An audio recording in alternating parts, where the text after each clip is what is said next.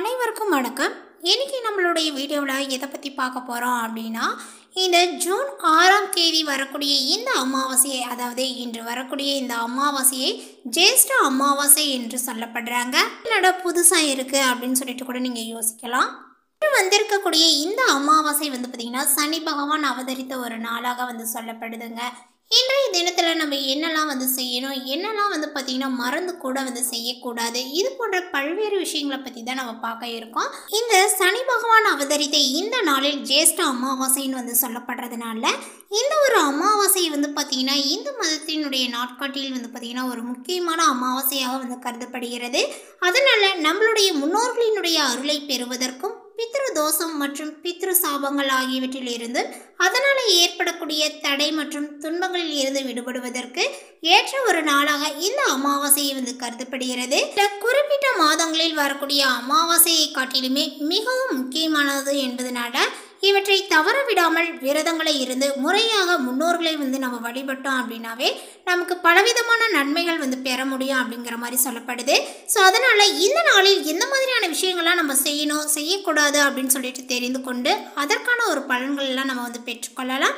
அப்படி வந்திருக்கக்கூடிய இந்த அமாவாசை தாங்க இந்த வைகாசி மாதத்தில் வந்து இந்த வைகாசி மாதத்தில் வந்து இருக்கக்கூடிய இந்த ஜேஷ்ட அமாவாசையில் செய்ய வேண்டிய வழிபாடுகள் மற்றும் தவிர்க்க வேண்டிய விஷயங்கள் பற்றி நம்ம கொஞ்சம் டீட்டெயிலாக பார்க்கலாம். பார்க்கலாம். இந்த வீடியோவானது உங்களுக்கு பயனளிக்கக்கூடிய வகையிலும் ரொம்ப சுவாரஸ்யமாக இருக்கும் அப்படிங்கிறதுனால இந்த வீடியோவை எங்கேயுமே கொஞ்சம் கூட ஸ்கிப் பண்ணாமல் கடைசி வரையிலும் பாருங்கள் அது மட்டும் இல்லாமல் நம்மளுடைய சேனலை இப்போ தான் ஃபர்ஸ்ட் டைமாக நீங்கள் விசிட் பண்ணுறீங்க அப்படிங்கும் பொழுது நம்மளுடைய சேனலை இன்னும் சப்ஸ்கிரைப் பண்ணாமல் இருந்தீங்க அப்படின்னா முதல்ல சப்ஸ்கிரைப் பண்ணிக்கிங்க. அப்படியே கூட இருக்க அந்த பெல்லைக்கானையும் வந்து கிளிக் பண்ணிவிடுங்க அப்பொழுது நம்மளுடைய சேனலில் கொடுக்கக்கூடிய அனைத்து தகவலுமே உங்களுக்கு நோட்டிஃபிகேஷனாக வரும். அதையும் நீங்கள் பார்த்து பயனடையலாம்.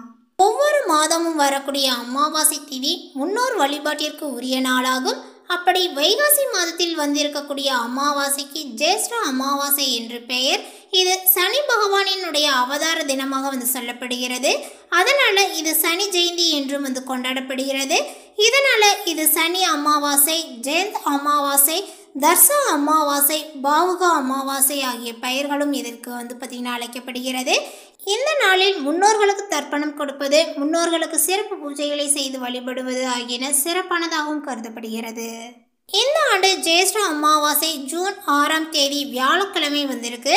ஜூன் ஐந்தாம் தேதி இரவே வந்து பார்த்திங்கன்னா இந்த அமாவாசை திதியானது வந்து பார்த்திங்கன்னா தொடங்கிடுச்சு. அது எப்போ அப்படின்னு வந்து பார்த்திங்கன்னா புதன்கிழமை இரவு ஏழு ஐம்பத்தி ஆறு முதல் ஜூன் ஆறு வந்து பார்த்திங்கன்னா வியாழக்கிழமை வந்து பார்த்திங்கன்னா மாலை ஆறு நாற்பது வரைக்கும் இந்த திதியானது இருக்குது ஸோ அதனால் வந்து பார்த்திங்கன்னா நம்ம எந்த நாளை எடுத்துக்கிறோம் அப்படின்னா வியாழக்கிழமை என்று வந்திருக்கக்கூடிய இந்த அமாவாசை தான் நம்ம வந்து எடுத்துக்கணும். ஆணி அமாவாசை தை அமாவாசை மகாலய அமாவாசையை போன்றே வைகாசி மாதத்தில் வந்திருக்கக்கூடிய ஜேஷ்ட அமாவாசையும் இந்த சாஸ்திரத்தில் மிக முக்கியமானதாக வந்து கருதப்படுகிறது. முன்னோர்களுக்குரிய கிரகமான சனி பகவானினுடைய அவதார தினம் என்பதனாலும் இது கூடுதல் முக்கியத்துவம் பெறுகிறது. இந்த நாளில் சில குறிப்பிட்ட விஷயங்களை வந்து பார்த்திங்கன்னா கண்டிப்பாக செய்ய வேண்டும். சில விஷயங்களை கண்டிப்பாக தவிர்க்க வேண்டும் என வந்து சாஸ்திரத்தில் வந்து சொல்லப்பட்டுள்ளது. கிருஷ்ண அமாவாசை என்று முன்னோர்களுக்கு தர்ப்பணம் கொடுப்பது விரதம் இருப்பது தியானம் மந்திரம் பாராயணம் உள்ளிட்ட ஆன்மீக செயல்பாடுகளில் ஈடுபடுவது தான தர்மங்கள் செய்வது உணவு உடைகள் வந்து பார்த்திங்கன்னா உள்ளிட்டவைகளை இல்லாதவர்களுக்கு வழங்குவது யம தர்மனுக்கும் முன்னோர்களுக்கும் உரிய திசையான தெற்கு திசையை நோக்கி நல்லெண்ணெய் தீபங்களை வந்து ஏற்றுவது. இந்த மாதிரிலாம் வந்து நீங்கள் செய்வது சிறப்புடையதாக வந்து சொல்லப்படுது. அதே சமயங்களில் வந்து பார்த்திங்கன்னா சில குறிப்பிட்ட விஷயங்களை செய்தால் சனி மற்றும் முன்னோர்களினுடைய கோபத்திற்கு ஆளாவதுடன் துர்திருஷ்டமும் பலவிதமான துன்பங்களும் நமக்கு வந்து சேருமாம் அமாவாசை அன்று முன்னோர்களுக்கு தர்ப்பணம் சீராத்தம் முதலியனவற்றை தவறாது வந்து செய்ய வேண்டும். அதனால் பித்திருக்களினுடைய பசியும் தாகமும் நிவர்த்தியாகும் என்கிறது சாஸ்திரம். அதிலுமே இந்த வைகாசி மாதம் தேய்பிரையில் வந்திருக்கக்கூடிய இந்த அமாவாசை என்ற விரதங்களை இருந்தால் பித்திர சாபங்கள் நீங்கும் என்பது ஐதீகம். அந்த வகையில் இந்த வருடத்தில் வைகாசி மாத அமாவாசையானது ஜூன் ஆறாம் தேதி என்று வியாழக்கிழமை என்று வந்து தொடங்கியிருக்கு. இன்று நம்மளுடைய முன்னோர்களுக்கு வந்து பார்த்தீங்கன்னா நதிக்கரையிலோ கடற்கரையிலோ முன்னோரை நினைத்து சிறிது எள்ளும் தண்ணீரும் இறைத்து தர்ப்பணம் செய்தாலே அவர்களது தாகமும் பசியும் அடங்கிவிடும் என்று சொல்லப்படுது. அதே போல அவர்கள் மனம் குளிர அன்னதானம் வஸ்திர தானம் பல வகைகள் தானம் போன்றவற்றை வந்து செய்தால் நன்மைகள் பயக்குமா?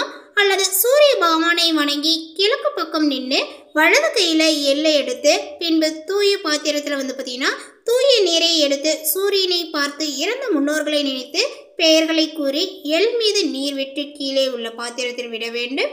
பின்பு அந்த நீரை கடல் ஆறு ஏரி குளம் இந்த மாதிரி பகுதிகளில் வந்து பார்த்தீங்கன்னா விட்டு விடலாம். சந்தர்ப்ப சூழ்நிலையினுடைய காரணமாக அமாவாசை திதி இதெல்லாம் வந்து மறந்துட்டீங்க அப்படிங்கும் பொழுது தர்ப்பணம் தர இயலாதவர்கள் இந்த மாதிரி இருக்கக்கூடியவர்கள் வந்து பார்த்தீங்கன்னா இன்றைய நாளில் வந்து பார்த்தீங்கன்னா கட்டாயம் செய்து கொள்ளலாம். உங்களுடைய வீட்டிலிருந்தே நம்மளுடைய முன்னோர்களை வழிபட்டு கருப்பு மற்றும் வெள்ளையில் கலந்த சாதத்தை காகங்களுக்கு உணவாக வைக்கலாம். இந்த தினந்தோறுமே வந்து பார்த்திங்கன்னா காகங்களுக்கு வந்து உணவு வைக்கக்கூடிய பழக்கங்கள் இருக்கும். அந்த மாதிரி இருக்கக்கூடியவர்கள் வந்து பார்த்திங்கன்னா இந்த அமாவாசை நாளில் காகங்களுக்கு உணவு வைப்பது மிகவும் சிறந்தது. இந்த அமாவாசை நாளில் வந்து பார்த்திங்கன்னா குழந்தை இல்லாதவர்கள் அமாவாசையில் அதாவது இன்றைய தினத்தில் விரதங்களை இருந்து அம்மன் கோயிலுக்கு சென்று வழிபாடுகளை செய்வீங்க அப்படின்னா நிச்சயமாக உங்களுக்கு புத்திர பாக்கியங்களானது கிடைக்கும். எனவே இந்த வைகாசி அமாவாசை நாளில் முன்னோர்களை வழிபடுங்கள். மேலும் இன்று குறைந்தது மூன்று பேருக்காவது வயிறு நிரம்ப சாப்பாடு வாங்கி கொடுத்து அன்னதானம் செய்ய வேண்டும். அது நிறைவான அன்னதானமாக இருக்க வேண்டும். அதனால் தலைமுறையும் வந்து பார்த்திங்கன்னா செழிக்கும். ஜாதகத்தில் சனி தோஷம் இருந்தால் அதுவும் விலகி நல்ல ஒரு வளமுடன் வாழ்க்கையை நீங்கள் வாழலாம். வைகாசி அமாவாசையுடன் சேர்ந்து சனி ஜெயந்தியும் வருவதனால இந்த நாளில் வந்து பார்த்தீங்கன்னா சனி பகவான் மகாவிஷ்ணு மற்றும் சிவபெருமானினுடைய அருளும் கிடைக்கும் ஸோ அதனால் இவர்களையும் வந்து பார்த்தீங்கன்னா இந்த தினத்தில் நீங்கள் வழிபாடுகளை வந்து செய்து கொள்ளலாம். புனித நதிகளில் நீராடினால் ஏழு பிறவிகளில் வந்து செய்த பாவங்களானது நீங்கும் என்பது ஐதீகம். இந்த நாளில் கண்டிப்பாக தர்ப்பணம் செய்து முன்னோர்களை வந்து பார்த்தீங்கன்னா சந்தோஷப்படுத்தி அவர்களுடைய ஆன்மாவை மனம் குளிரச் செய்யவும். இன்றைய தினம் சனி பகவான் அவதரித்த நாள் என்பதனால பீகார் ஹரியானா பஞ்சாப் போன்ற மாநிலங்களில் பெண்கள் இதனை வந்து பார்த்தீங்கன்னா வத்சாவித்ரி விரதமாக வந்து அனுஷ்டிக்கிறார்கள். சனி பகவான் ஆயுள் காரகன் என்பதனால தங்களுடைய கணவர் நலமுடன் நீண்ட காலம் வாழ வேண்டும் என வந்து பார்த்தீங்கன்னா வேண்டிக் கொண்டு பெண்கள் விரதங்களை இருந்து வழிபடுவதை வழக்கமாகவும் கொண்டுள்ளனர்.